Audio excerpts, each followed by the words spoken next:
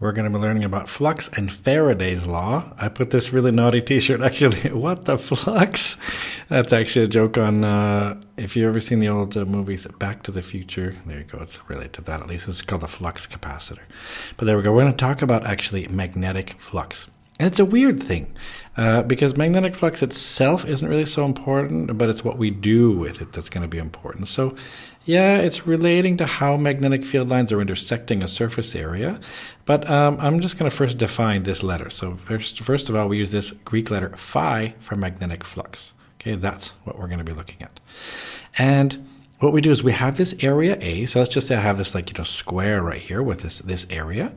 And what happens is this, this magnetic field line, in this case, this B magnetic field line here, has as it's crossing this area, well, it maybe has an angle to the normal here, this angle theta here to the normal.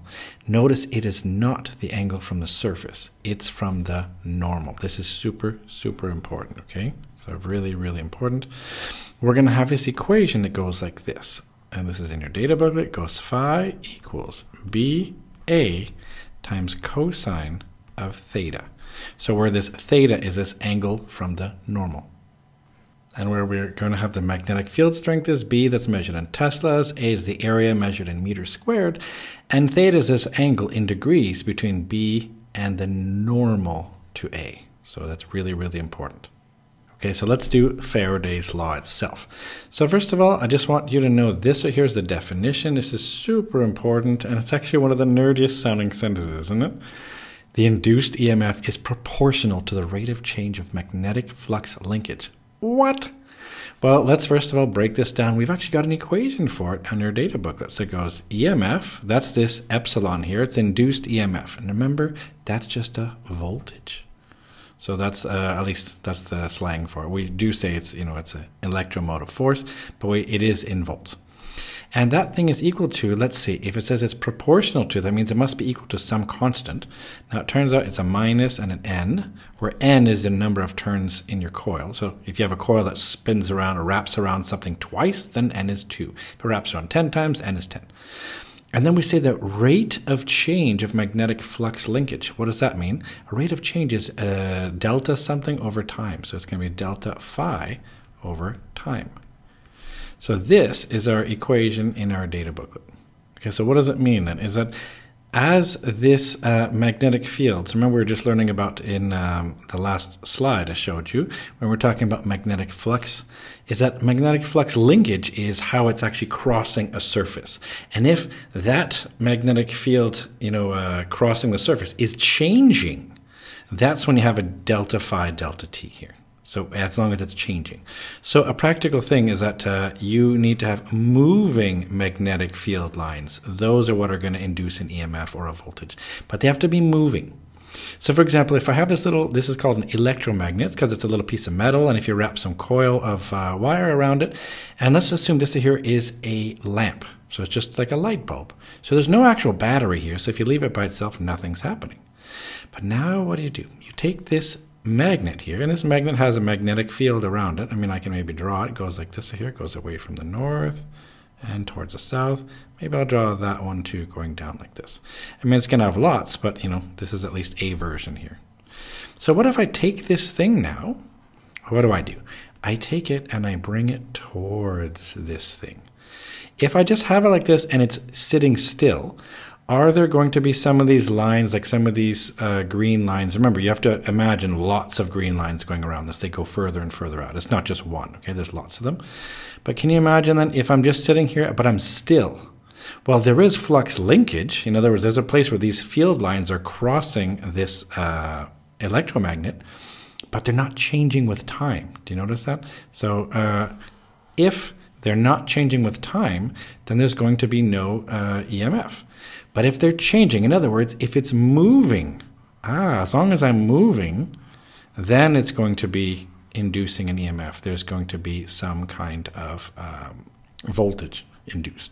So that's the key thing here. It's got to be moving. If it's just staying still, nothing. And what's interesting about it is that, well, a nice exam tip is that if it's faster moving, there's a larger EMF. So what does that mean? Well, that means like, let's say I said, uh, I don't know, um, three times delta phi delta t. In other words, maybe this thing moves even faster. Maybe it moves three times as fast. Well, because it's directly proportional, that'll be three times the EMF. So in other words, if it was inducing, let's say three volts, and you move it twice as fast, well, or sorry, three times as fast, then three times three will be nine. So now it'll be nine times, uh, nine volts. And more coils as well is the same idea. So let's say I had, I don't know, let's say I had um, n times uh, 5. Well, what will that lead to? In other words, I have 5 times more coils. What does that do? That takes your EMF and multiplies that by 5. So just so you know, it's directly proportional. So these changes are important. Now, I think it might be a nice idea to look at an animation that I like from PHET, good old them, and it's uh, Faraday's Electromagnetic Lab. I decided not to show you the um, electrons because that will confuse you because we're not using electron flow current in the IB, we use conventional current. But this is what's going to happen here. So I've got this magnet here, and it's drawing basically these magnetic field lines. You can see that's the little mini compasses everywhere. And this is just my lamp.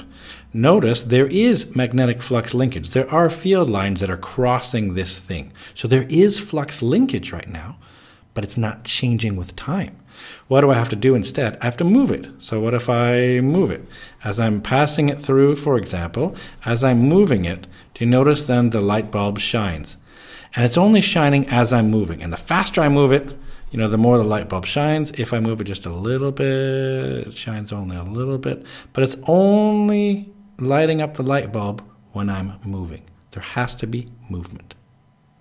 Now we have an equation for if there is a wire that's moving in a magnetic field, and it goes like this. The induced EMF is going to be just BVL. That's our equation.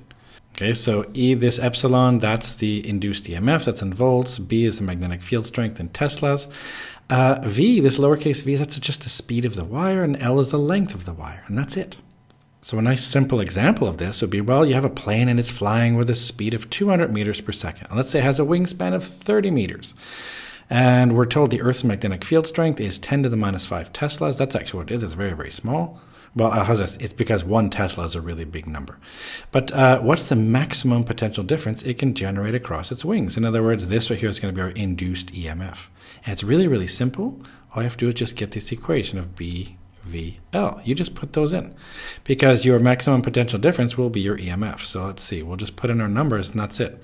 So I'll put in uh, B, which is uh, 10 to the minus 5. Okay, I put in my V, which is 200. And I put in my length, which is 30. Actually, I could probably do this without a calculator. Let's see. So this right here will be 10 to the minus 5 times, let's see, 200 times 30. Well, 2 times 3 is 6. Add 3 zeros. That makes it 6,000. And 10 to the minus 5, what happens then if I multiply those two numbers?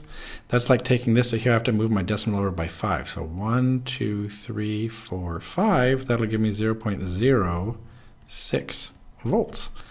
And that's it. So that's the maximum potential difference that I can generate across. It's actually really nice and easy. Nothing to it.